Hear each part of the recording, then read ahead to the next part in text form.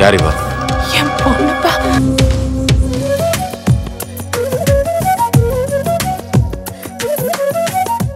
நீ என்ன கொன்னாலும் நான் அவங்க எங்க இருக்காங்கன்னு சொல்ல மாட்டேன். ஆறு லட்சம் மக்களால் தேர்ந்தெடுக்கப்பட்ட நேர்மையான ஒரே தலைவன்.